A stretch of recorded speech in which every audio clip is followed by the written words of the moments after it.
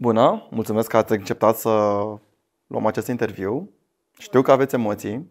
Tocmai ați venit de la prezentări, de la workshop. Felicitări pentru prezentări. Chiar au fost interesante. Mulțumim cu stocări de frumos. baterii, cu lucruri care zic eu că sunt de viitor. Pentru început, aș dori să știu câteva cuvinte despre voi. Cu ce vă ocupați, ce faceți voi în cadrul institutului și care sunt planurile voastre de viitor în acest domeniu. Hai să începem cu cine? Hai, cel mai mic. Cu cea mai mică? Începem cu... Suntem colegi în primul rând Asta e, și lucrăm împreună, ne completăm în general subiectele și uh, eu sunt uh, Andra Georgia Boni. Um, mă ocup în special de caracterizările electrice pe materiale izolatoare și noi uh, colaborăm în sensul că ea se ocupă de, cara- de depunerile și de caracterizări structurale și mai departe eu mă ocup de stru- analiza uh, proprietăților electrice. Și în ultima vreme m-am tot gândit cum anumite proprietăți care păreau uh, destul de ciudate la început ar putea fi folosite pentru aplicații noi, care nu, ar, nu sunt deocamdată pe piață, dar care par să fie domeniul uh, viitorului. Am înțeles din subiectul care l-ați abordat, uh, am înțeles că vorbim despre stocare de energie în domeniul bateriilor în special. Greșesc? Nu este în domeniul bateriilor, în domeniul supercapacitorilor. Ok, poți să ne spui mai multe detalii, te rog frumos? Păi, supercapacitorii sunt și ei uh, materiale care se doresc a fi utilizate în uh, energie, în sisteme de energie, uh, care concurează, să zic așa, cu bateriile la uh, în capitolul de, dens, uh, da, de putere, da? densitate de putere. Dar uh, bateriile sunt mai bune pe partea de uh, densitate de energie. Din ce văd eu, partea cu energia este un domeniu care este foarte la modă în acest moment, că vorbim de fotovoltaice, că vorbim de mașini electrice, că vorbim de stocare de energie. Cum vedeți voi ceea ce faceți ca aplicabilitate, ca pe viitor? Unde credeți că s-ar încadra? Unde ați dori voi să ajungă? Cred că toată lumea își dorește să facă o aplicație.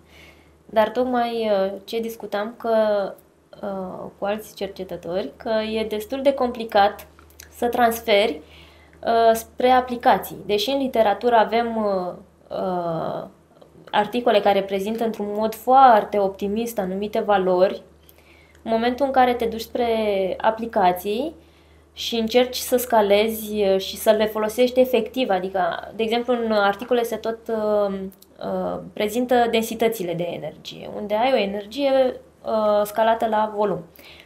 Tocmai acest lucru și discutam. În momentul în care chiar ai nevoie de aplicație, ai nevoie de energia totală. Și modul în care transformi apoi energia totală nu dă întotdeauna bine. A? Tocmai de aceea facem cercetare, ca să ajungem să găsim soluții Bine, până la urmă noi plecăm de la cercetare fundamentală, adică straturile pe care facem noi astfel de analize sunt straturi epitaxiale care nu pot fi obținute decât la scară, la scară mică.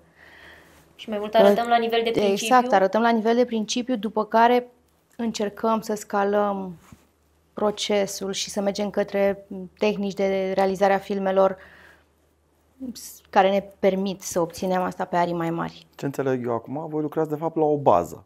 Noi la o lucrăm bază, la o bază de dezvoltare da. ulterioară, Exact. în care să ducă, să ușureze activitatea oamenilor și eventual să mai rezolvăm cu o parte din poluare. Greșesc? Așa pe, da, pe termen Pe termen lung. lung, dacă o spui, da. da. De fapt, Cum vi s-a părut prima zi de workshop? Revenind la workshop la care suntem prezenți, la care ați avut prezentări, cum vi s-a părut prima zi? Intens, multe informații noi.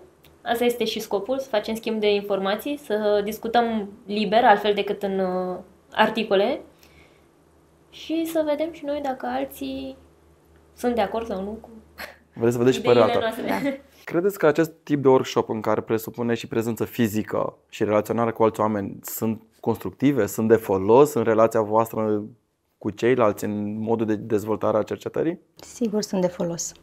Uh, interacția interumană uneori vine cu contribuția ei peste cea, să zicem, dezvoltată așa în mediul online.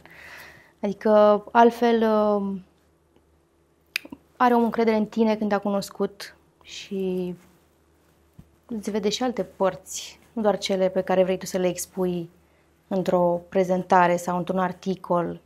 Dar atunci când interacția este face-to-face, uh, apar și alte întrebări care într-un articol sau într-o prezentare doar la nivel online. În prezentarea online nu ai timp să le discuți pentru că timpul este limitat, iar în uh, articole, sigur, oricine încearcă să își învelească, să-și împacheteze produsul într-un ambalaj cât mai frumos.